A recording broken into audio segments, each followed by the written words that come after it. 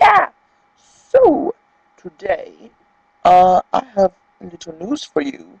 Um, first off, I apologize for not being here in like, what, like a month?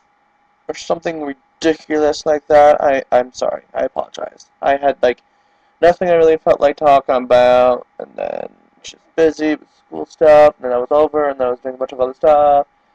So last week was really crazy, and, and I just didn't have feeling to actually do a video. But now I do, and I'm back on it, and hopefully I'll continue doing more stuff.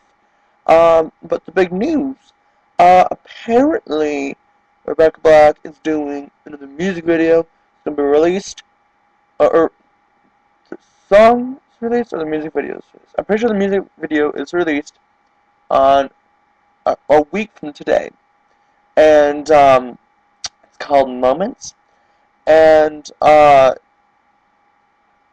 I'm I'm afraid. Um, I don't want it to suck, but I I feel like it might not suck. I feel like it actually might be okay, but uh, I don't know. I'm afraid. I'm afraid for her. I fear for you, Rebecca Black, despite your infamy and all that jazz. But yeah, I'm I'm I don't know what to think of it. Uh, I've been trying to look around, see if there's any leaks of the song, see if it sounds terrible or anything, or if there's anything to make fun of, ha ha ha ha.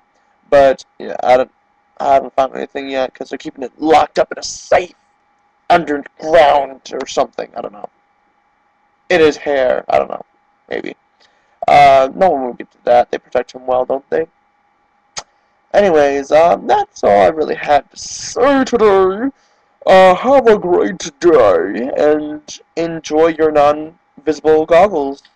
Uh, see ya.